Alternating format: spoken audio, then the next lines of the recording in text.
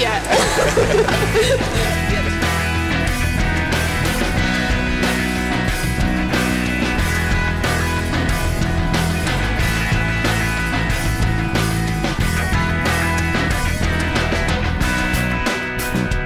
восьмом склоне, где кресельная канатка, стоит трасса гигантского слома.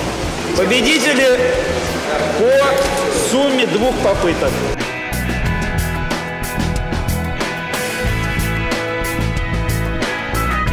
Добрый день, меня зовут Татьяна, я представляю Национальную лигу инструкторов.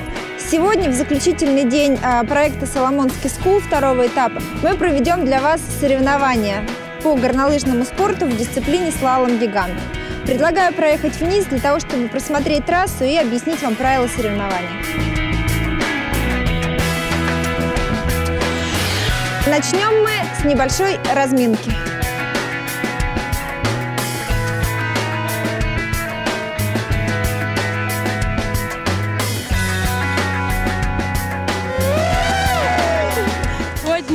Нас случится финал, совершенно неожиданная трасса. Я активно готовилась, два дня лежала в кровати с горчичниками. Сегодня в полноценной форме, я считаю, и надо лишь собраться с духом.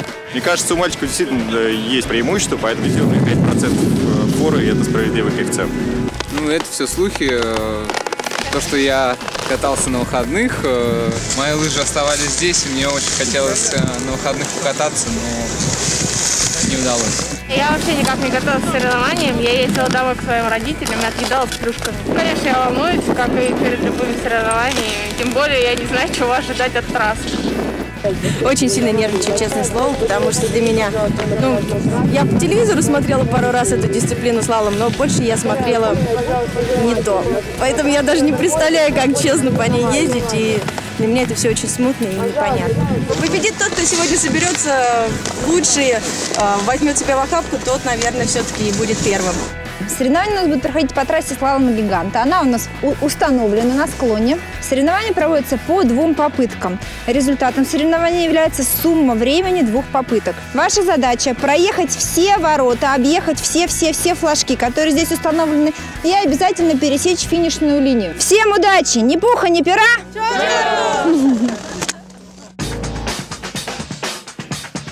Смотрите, вот это стартовая калитка. Когда вы будете стартовать, ваша задача, когда вы уже палочки сюда перенесете за калитку, нужно вес перенести вперед, оттолкнуться от палок и уехать туда.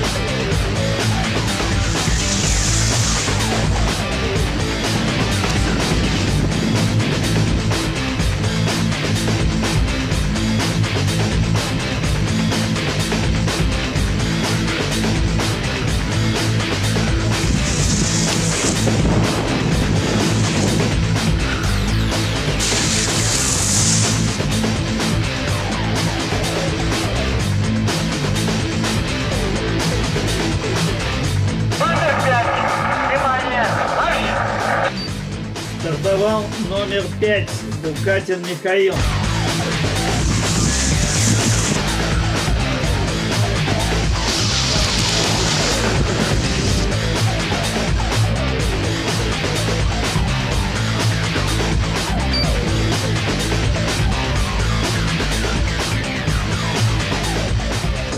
Сегодня я впервые в жизни поучаствовал вообще в каких-либо спортивных соревнованиях, на самом деле. И это очень круто. Мы попробовали проехать трассу слалома, и э, ребята все выложились на все сто процентов, как мне кажется. Хочется поблагодарить компанию «Соломон» и моих друзей, которые меня поддерживали, которые слушали мои истории и, собственно, голосовали за меня. Всем большое спасибо, это был прекрасный опыт, и я ни за что теперь не брошу горные лыжи. Это отлично. Было очень здорово, на скорость кататься мне очень понравилось. Проходить трассу сначала было очень страшно, стартовать этой возвышенности. Первый проезд все было, старался аккуратно из-за страха, второй проезд уже был проще, веселее. Я сегодня стала второй, мне не хватило совсем чуть-чуть до победы, но тем не менее я очень рада за Мишку, он действительно заслужил, он у нас самый лучший, самый быстрый, самый классный. Но стать первой среди девчонок тоже здорово.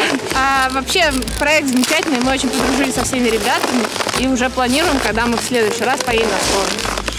Мы, надо же, попробовали на такую дисциплину, как слалом. Пусть это получилось совершенно спонтанно, но нам очень-очень понравилось.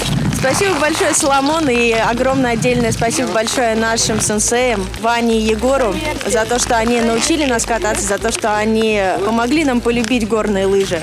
А, Прошел слух, что я победил, я э, безумно рад этому. Э, Ждали результатов, конечно.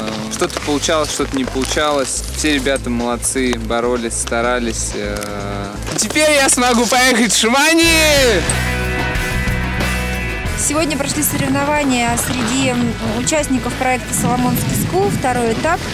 А, Я с удивлением смотрела, как ребята проходят трассу, потому что за 10 дней катания, они провели всего 10 или 9 тренировочных дней, они научились скользить на параллельных лыжах, при том, при всем, что они э, шикарно справились с прохождением горнолыжной трассы Слава Гиганта, ехали как профессионалы на параллельных лыжах.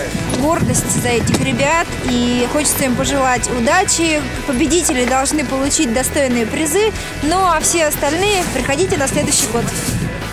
Сегодня завершился второй этап проекта «Соломонский скул».